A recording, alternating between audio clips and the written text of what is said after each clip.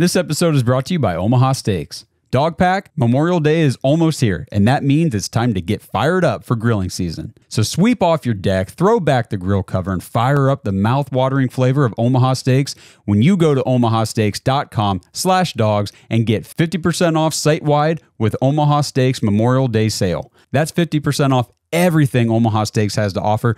Not just the steaks, which are absolutely incredible, but they've also got awesome jumbo franks, brats, chicken, seafood. They've got pork. They've got appetizers. I just ordered a bunch of meatballs and chicken wings for my freezer to get ready for grilling season. So head over to omahasteaks.com slash dawgs and see what they have to offer. This is a great opportunity to get a great deal on great food. omahasteaks.com slash dawgs, 50% off site-wide Memorial Day sale and use promo code DAWGS, D-A-W-G-S when you check out. You'll get an extra $30 off your order.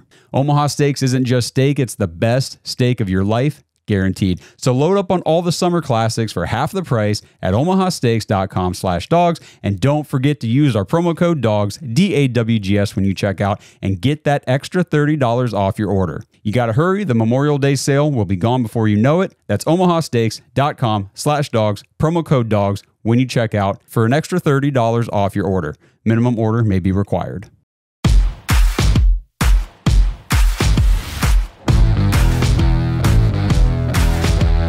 Welcome to the Dawgs Podcast with your hosts, Blake Renaker, Justin Charles, and Josh Hall. What's up, Browns fans? Welcome back to another episode of the Dawgs Podcast presented by Omaha Steaks. Josh all alone with you guys, and I've got a very special episode ready for you guys. You're not going to want to miss this one. We have got Browns rookie linebacker Nathaniel Bookie Watson on the show today. We'll be talking to him about his experience with rookie minicamp and just coming into the NFL and some, you know, discussions about his time in college at Mississippi State. He did some pretty incredible things while he was in college, and I'm not just talking about on the football field. So we will dive into all that. But before we do, just want to make sure you guys, if you're watching on YouTube, please like the video, subscribe to the channel, tap the notification bell. We are getting very close to 10,000 subscribers. And we really appreciate everybody supporting the show and subscribing to the channel. And if you're listening on Apple Podcasts, again, like I keep telling you guys, and you guys are following through, I appreciate it. Please scroll to the bottom of the page, leave us a five star written review, just a quick comment in there. Great show, awesome Browns content, love these guys, whatever. I mean, you could say the show sucks if you really think so. But at the end of the day, the five star written reviews really help get our podcast in front of more Browns fans like you guys. And that's what we're trying to do. So, today's episode, I just want to talk a little bit about Nathaniel, and I will call him that right now up until the interview. But after that, it is straight Bookie from there. Nathaniel Watson, he was the Browns' sixth round pick in the, the draft just last month. And just looking at some of his, well, first of all, he's six foot two, 233 pounds, big. If you've seen any of the uh, videos from training camp or the rookie mini camp, him out on the field. Yes, I know these guys are just in helmets and, and shorts and whatever, but this is a big linebacker. And the way he's got some speed, he can move. He's going to be very exciting to watch this season. So I just want to go through some stats and we'll just talk about the last couple years. In 2022, he had 113 total tackles, 12 tackle for loss, six sacks, and an interception. And then in 2023, just this past season, he went even higher on that 137 tackles, 13 tackle for loss, 10 sacks, and another interception. He had 21 sacks over the last three seasons in college. The dude can get after the quarterback. And so I just want to talk about a couple things about Bookie Watson. Uh, this comes from Barry Shuck's article on Dawgs by Nature, breaking down uh, the Browns rookie linebacker. I'll just read the scouting report real quick. This is from the Draft Network. It says Mississippi State's Nathaniel Watson enters the draft after a sensational career that saw him develop into one of the best and most productive linebackers in college football. Watson is a six year senior who has played a ton of football. He aligned as an off the ball linebacker in the Bulldogs 335 defense, and that's where he projects best at the next level. But we talked to him about that, and this guy can play every single linebacker position because he's already done it throughout his college career. So we do talk about that. It says, uh, continues on Watson is a well built linebacker with a good size and excellent length. He is an above average athlete who is a smooth mover in space but lacks quick twitch and explosive movements. Watson is a good player in zone coverage, displaying a good ability to get depth in his drops. He shows good awareness of backs and receivers entering into his area. He is an instinctive player in coverage and naturally can flow to the football by reading the quarterback's eyes. I can't wait for you guys to hear the interview because his ex- excitement and enthusiasm to be part of the Cleveland Browns, to be part of this Jim Schwartz defense, just radiates off of him. It's it's a ton of fun. Before we dive into the interview, I just want to go through Bookie Watson's career honors through his college career because the list is extensive. And uh, as long as Barry didn't leave anything off the list, I don't want to leave anything off the list. So NFL Combine participant, 2024 Reese's Senior Bowl participant, 2024 East West Shrine Bowl invitee, 2023 SEC Fall Academic Honor Roll, 2023 Phil Steele All American Third Team, 2023 Phil Steele All SEC First Team, 2023 ESPN All American Second Team, 2023 AP All American Third Team, 2023 All SEC First Team, 2023 AP SEC Defensive Player of the Year, that's the big one. He was the SEC Defensive Player of the Year, led the entire conference in tackles, and was just wow, did he ever wreak havoc on the SEC? He was the 2023 AP All SEC First Team. 2023 College Football Network All American Second Team, 2023 College Football Network All SEC First Team, 2023 Butkus Award finalist, Best Linebacker Award in all of college. So he was a finalist for that award. 2023 Walter Camp Defensive Player of the Week, which was week 12 versus Southern Miss. 2023 SEC Defensive Player of the Week, that was also week 12 versus Southern Miss. 2023 Conerly Trophy finalist, 2023 Butkus Award semifinalist, 2023 Bednarik Award National Defensive Player of the Week in week 8 versus Arkansas. I'm almost done, guys. We're getting there. 2023 SEC Defensive Player of the Week in Week 8 at Arkansas. 2023 Bronco Nagurski Trophy Watch List. 2023 Preseason All SEC. 2023 Preseason All SEC. That's from the media. 2022 Second Team All SEC. 2022 SEC Academic Honor Roll and SEC Academic Honor Roll in 2020 as well. Bookie Watson is a very exceptional young man. He uh, he's done great things throughout college, as I mentioned earlier. I mean, on the field, off the field, in the classroom, he's very impressive, and I really I'm I'm excited for him to be on the team. If you guys have watched the show, you know that when the draft wrapped up, you know, a few weeks ago in April, I came out of the weekend very excited about the entire draft class, but I was just over the moon about drafting Nathaniel Watson in the sixth round. I just I was like, I can't believe we I can't believe we got Bookie Watson. I'm so excited to have him on the team. And you know, after the interview, I'm sure you guys will feel the same if you're not already there with me, but I really do believe that he has a chance to you know, step into a very large contributing role early on in his career this year in 2024 and make a big impact on the field. So, I have rambled enough. I've talked enough about him. I'm going to go ahead and kick it over to the interview, and then we will wrap things up when we're done.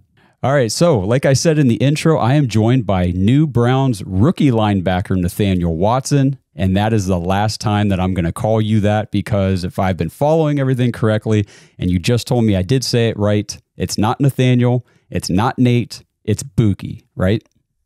Yes, sir, Bookie. Bookie. so I was doing some reading about this and I didn't get the full story. So I kind of want to know where did Bookie come from? Because I see that your dad was big Bookie, right?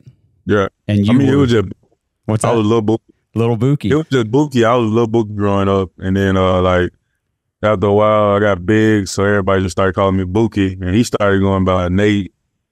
So yeah, that's how it's really like, I don't, I never got to ask him, um, like what a nickname came from. He passed away to uh, COVID in, uh, 2021. I'm So I never got to ask. So I just, uh. I never got to ask him then. I always forget to ask my mom where it came from. So I just, I just go along with it. So yeah. Well, That's pretty cool that he was Bookie and then you became Bookie after, you know, just kind of passed on to you. I, I think that's really neat. Um, so we we've talked to a couple other guys from rookie minicamp, which You guys just finished that up. We talked to tight end Treyton Welch just a couple days ago. One thing that I wanted to ask you about so, Treyton mentioned probably three or four times that the ultimate goal for the team is to win the Super Bowl. So, I'm just curious, man, like how early did the team instill that priority with you guys during the mini camp? Oh, I mean, it really always been like our dream, like as a rookie to come in and win the Super Bowl. They really, it really just uh one big like big factor around here. They always talk about the next step, and obviously the next step is to win the Super Bowl. So, I mean, they really did uh, um install it too much, but you know, that's everybody like goal and like everybody around the facility. They want to win a Super Bowl. So yeah, that's really cool. I mean, we've heard that from multiple players now. It just seems like that we've talked a lot in the past years as the Browns have shifted the culture within the team because you know for for decades it just the, the team was not a very winning organization but it seems like we've got the right front office we've got the right coaches in there and now we're getting all i mean the roster is stacked and you are a big piece of that in my opinion and i guess what is your reaction to being drafted into a defense that's coordinated by jim schwartz uh it's really like really awesome because I, I came from a defense that was aggressive and played a lot of man coverage and blitz. So um, I really ain't changed too much. Just now, I got like you know Myles Garrett front me. So it's really, really, that's really the biggest takeaway from it. Uh, so yeah, I, I, just look forward to playing for him. He a hell of a coach. Um, from from uh, the first time I got here, uh, when we had Ricky Min started Ricky Mini camp, he just I can just tell by the energy that he give out like positive vibes and that he want to win. So yeah. Yeah, I know. I, you mentioned Myles Garrett. I saw an interview with you, right, where you were kind of talking about being starstruck by some of these guys yeah, that are on this roster, right? So Myles uh, is one yeah. of those dudes. Um, I'm guessing what, like Deshaun and Nick Chubb and some of these other guys too. Yeah, most definitely. Yeah, I, I definitely remember watching Nick Chubb at Georgia. Just like all because I played running back a little bit in high school, so just watching his highlight, I remember watching all that. Myles Garrett, Deshaun Watson, uh, bro, I don't want to be like them guys, and I'm actually like teammates with them. So yeah, that's kind of crazy. That that is crazy, and I mean, I personally, and, and this is not a slight to any of the other guys that we drafted, you know, back last month, but when the Browns picked you, I, I was like, man, this this is awesome. I was probably the most excited about you as the you know being a draft pick for the Browns because there's just a there's a big opportunity at linebacker and just going back and looking at your college production and everything that you accomplished, I was like, man, I cannot believe we got this guy. Like, you, your college career was very impressive.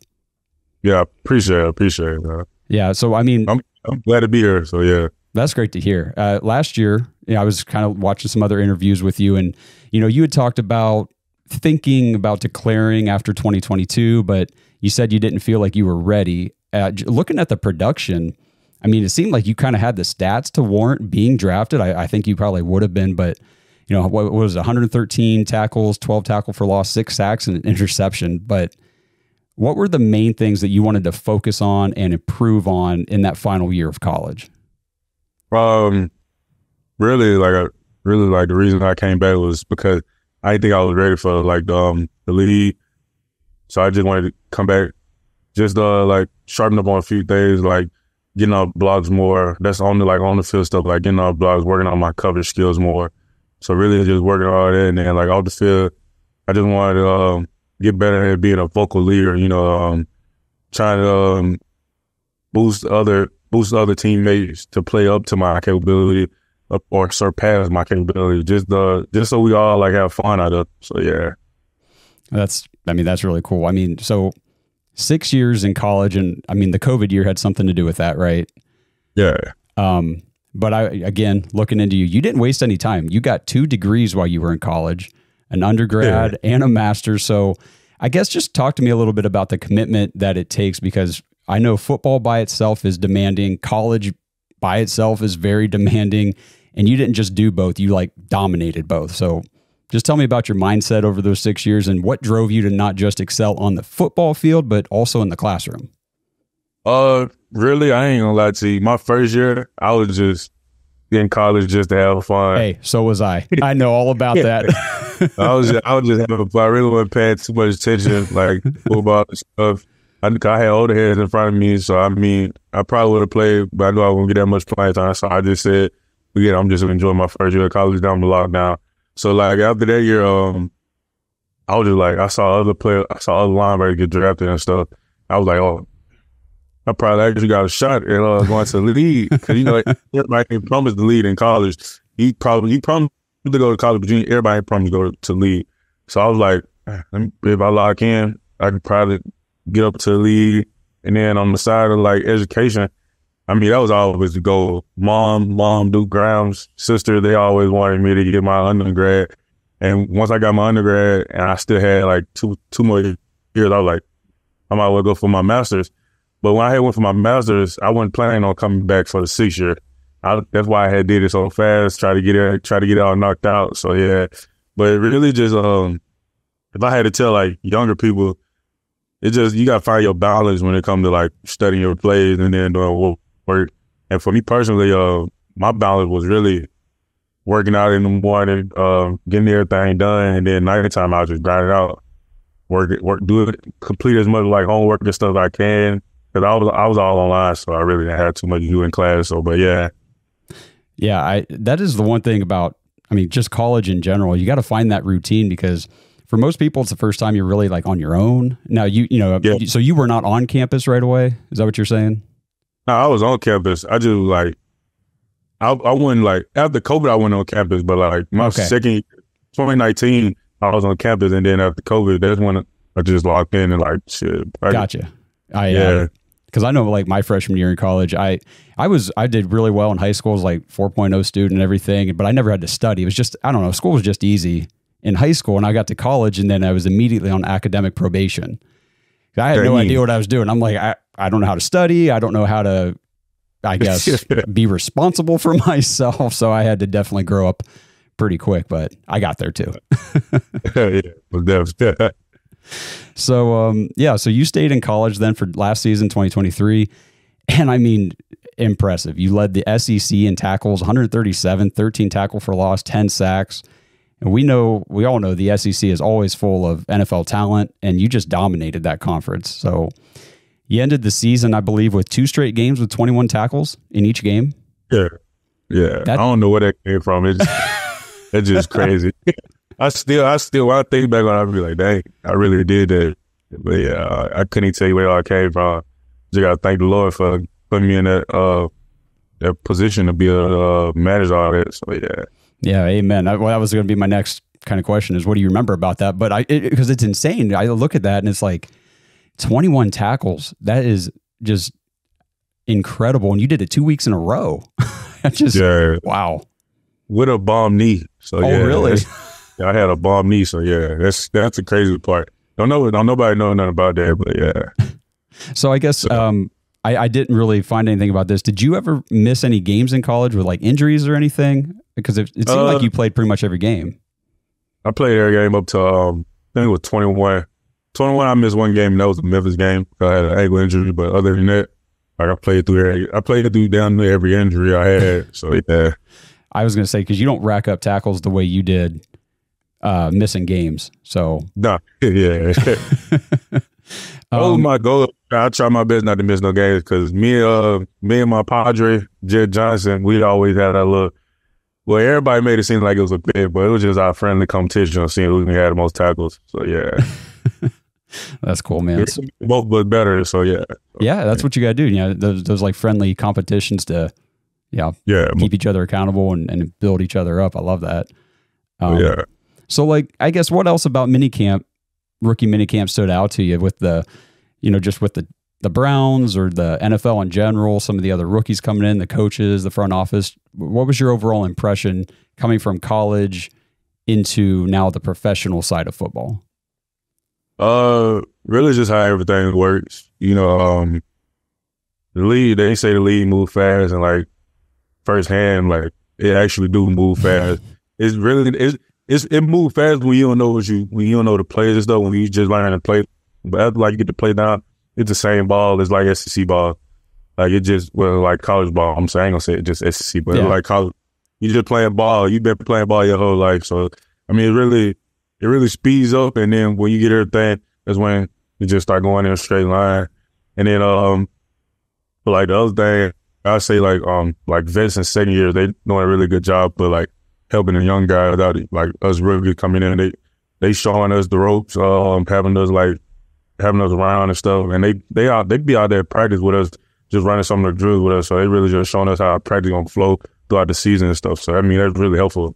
That that's awesome to hear because you know I've heard from other players just just in reading and things like that that the transition from college to the NFL is it can be pretty difficult because tell me if I'm if I'm getting this correctly, but in college a lot of your trainings and workouts and things are kind of more scheduled. You've got class schedules and things like that to kind of keep you on track.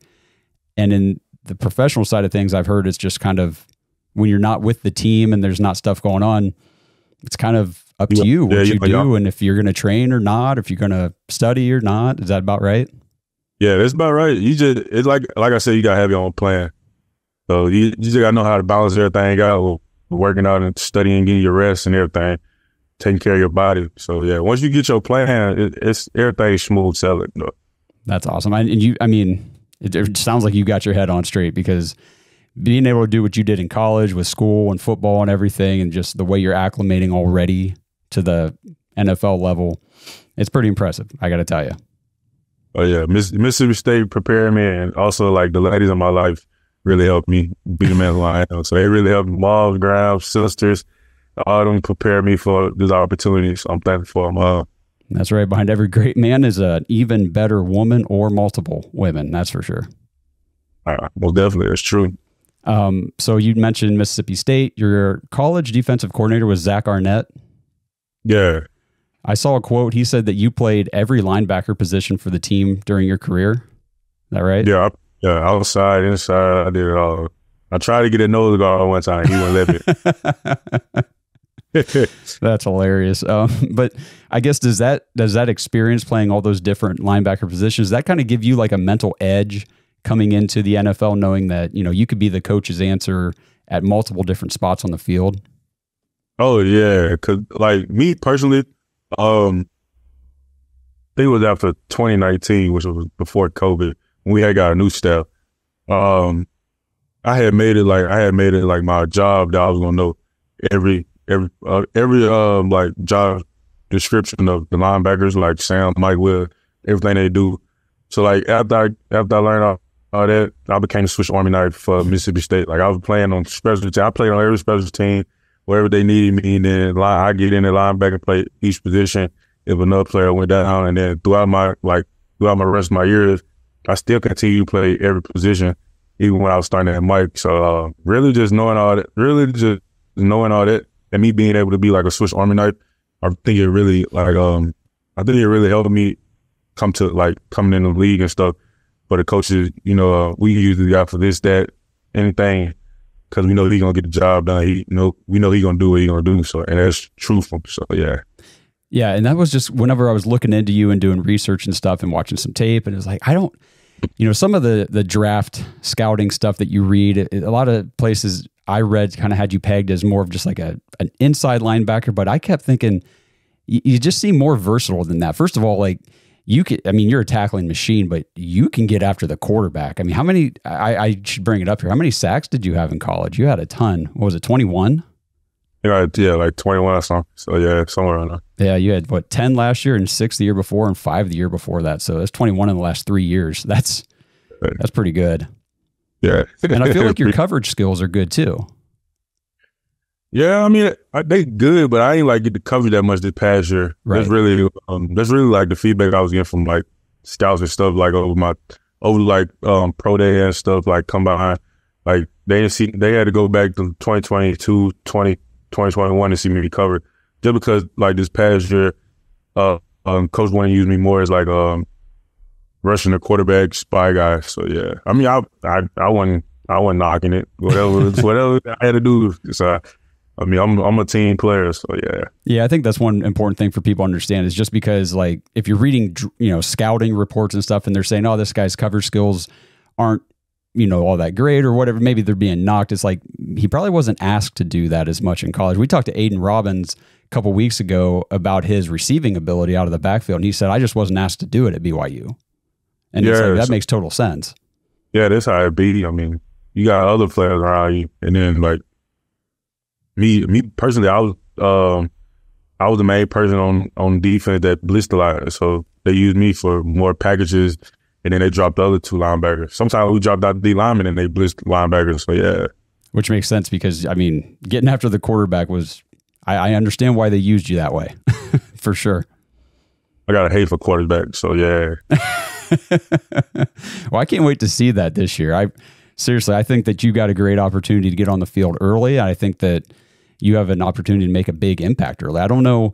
We've been talking about you on the show, you know, since you've been drafted, you know, to the Browns, and just saying, keep an eye on Watson because I, I really think that he's going to pop off the screen a lot earlier than many fans are expecting.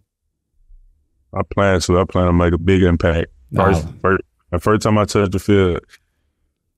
Love to hear it. Love to hear it. Um, so I guess we'll just kind of wrap up here, like a last couple questions, but I just want to talk to you about Martin Emerson because yeah. he was your teammate at Mississippi State for three years. Is that right? Yeah, three years. Okay, so I guess just what is your relationship like with Emerson, and you know how has that relationship impacted your transition into the NFL to this point? Uh, me and him always had a good relationship. You know, um, obviously we play together. He he obviously had put in good word for me here, and I had talked with Coach F. Coach F had said that he was talking good about me. So uh, really, uh, me and him always had a relationship, and like for speaking on the field, like he always held me accountable. Always hold, I always held him accountable when we was up at Mississippi State.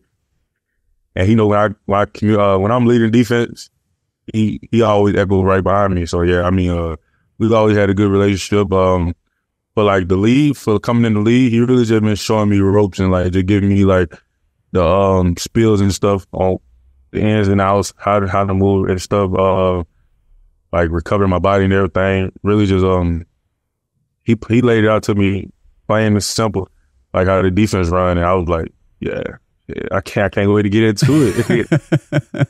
it fit me perfect. So yeah. That's awesome, man. I mean, playing that linebacker spot, and you already mentioned like behind a, a, defensive line that's got Myles Garrett, and we've we got Za'Darius back, and Tomlinson, and you know Mo and Shelby Harris, and all these guys. Mike Hall coming in. I think you. Got, I mean, the last year the defense was overall they were the number one defense in the league. I know on the road struggled a little bit, uh, but at home just absolute domination oh. and cannot wait to see you guys out there doing it again this year and even even better than it was last year. Go crazy this year, most definitely. All right, man. Well, I appreciate you. Hey, real quick, is there have you gotten a chance to like get out and about up there at all? No, I went to the baseball game yesterday. Oh, did you? Okay. Yeah, so I really ain't went out. I might, I might go out today just go look around and see the town and stuff. So yeah. Was that the game the uh, the other guys threw out the first pitch or? Yeah, Zach. Zach, okay. I might. Yeah. So, that's yeah. that's really cool, man all the rookies had went. So yeah, that was that was a good experience. Well, that's cool, man. I'm I'm glad to hear you guys are enjoying it, and I'm you know glad to hear you're excited to be in Cleveland, be part of the team, be a Cleveland Brown, and we are very excited to have you on the team. Yes, sir. I'm looking forward to this season, most definitely. All right, man. Can't wait to see you and Emerson out there together and just everybody else. It's going to be a ton of fun. And I really appreciate you taking some time, jumping on the podcast, and just giving our listeners and viewers a chance to get to know you a little better. Yes, I appreciate y'all for having me on here. All right, man. Good luck this season. I appreciate it. So again, huge, huge thank you to Bookie Watson for joining me today on the podcast, coming in, giving me some of his time. I know things are busy, things are crazy. I mean, this guy, just like all the rookies, they are trying so hard to just get a grasp on the playbook and the flow and the routine of the NFL of professional football. So, really appreciate him taking some time out of his busy schedule to join us, to give you guys a little more insight into him and to get to know him a little better. And I cannot do this show without a humongo shout out to my boy, Gage freaking Tucker from the Patreon Dog Pack member. He has been in there for years now. Gage, thank you so much. Gage helped coordinate and facilitate that interview and hooking us up with Bookie Watson. So thank you for putting us in touch and thank you for everything you do for the show, Gage Tucker. You are quite truly the man. And if you want to be in the dog pack, in the Patreon group, the private Discord with everybody, just like Gage is, head to jointhedawgs.com, become an official dog pack member over there on our Patreon page to get you access to that private Discord. And it just gets you this this really nice big group of this online community. It's really like we say all the time. It's like an online Browns backers group. It really is. We got people in there from all over the world, and you know, whenever you're watching games on Sundays and you're in a I don't know, you're in Minnesota and you're watching the Browns and you know nobody around is a Browns fan. Maybe your girlfriend, your wife, your husband, whatever, they're, they're not really big into football or they don't care about the Browns like you do. This group, I mean, we are in the Discord the entire game and you get to vent, you get to give your reactions, you get to commiserate and celebrate with everybody else in that group. It's so much fun. So check it out. There's a seven day free trial when you first join. And, you know, if you don't want to stick around, you don't have to. And if you do, we'd love to have you. So that is jointhedawgs.com, become an official dog pack member. I know a lot of you guys, when it came to the linebacker room after last season, heading into the offseason, it was like the main position that a lot of people were just screaming about, saying we've got to we've got to address this position. I know a lot of people were bummed about losing Sione Takitaki. He played so well for the Browns while he was here. Uh, I think a lot of people were bummed about losing Anthony Walker, but I I just think the injuries, you know, it, it's unfortunate because I loved Anthony Walker when he was here. I thought he played very well for us. But I really do believe it, it, you guys let me know in the comments if you agree or disagree. But I think bring the way what the Browns have done at linebacker could be sneaky, freaking upside high ceiling good this year with Jordan Hicks, and they obviously we still got JOK, who's just a machine out there. And now we bring in Bookie Watson. We've got Devin Bush in that room too. And not don't forget about Tony Fields. I think Tony Fields does a really nice job in his role on the defense at the linebacker position as well. So I, I'm not concerned one bit about the linebacker position. In fact, I'm excited. I think that it has the potential to be one of our most productive units. And that's saying something considering who we've got in our secondary, who we've got on our defensive line. But I just, I really do believe that we're going to see some really, really great things out of these guys. And, you know, having Bookie come in here to play alongside a guy like Jordan Hicks, who's done nothing over his career other than just tackle guys and just be a great leader on his defenses. So that's a great addition to the team. And we do have really high hopes. You know, there's good upside for Devin Bush to reclaim the early career that he was having when he first came in the NFL. And that talent's still there. It's just can the Browns get it back out of him? And I think that there's a really good chance that happens. You factor in uh, we, we I don't even need to mention JOK. JOK is JOK and he's going to do JOK things. He is a freaking dog. He's a stud. But Bookie Watson has an opportunity here to come in and just absolutely contribute from day one. So, very excited about him and about this linebacking corps overall. So, without further ado, I'm going to wrap this thing up. I hope you guys have a great week and I hope you enjoyed the interview with Bookie Watson. Please drop your thoughts, reactions, anything, comments, questions, whatever you've got into the comments, and we will make sure we get to you guys. We'll talk to everybody if we can. We love hearing from you. And until I see you guys in the next one, let's go, Browns. Thanks for listening to another episode of the Dawgs Podcast. Make sure you subscribe on YouTube and follow us on Twitter at the Dawgs Podcast. Get your thoughts on the show at thedawgspodcast.com.